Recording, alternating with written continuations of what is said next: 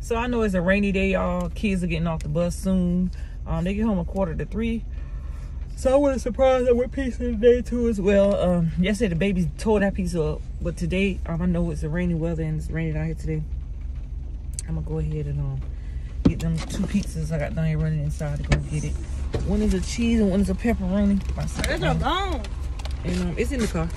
And um, here you go right here. I'm like, oh, they eat pizzas every day. Open it. As long as they're happy, I'm happy. That's cheese. I ain't gonna mess it like I did yesterday and take the shit and flip it over because it's too hot. And that is pepperoni. When they get home from school, they have their food ready for them. Um, they lunch, and I'm gonna pick up some chips and drinks, and that'll be lunch, and I'll do some dinner later. We still got a lot of collard greens left, and um, they ate all the roast, but we got a lot of collard greens left. But um, hope you guys continue enjoying your Tuesday because we are just stay blessed, stay safe. Let's keep the positive going, guys. I love you guys. Um, thank you guys for all your support both my YouTube channels. Thank you guys so much. See y'all later. Bye.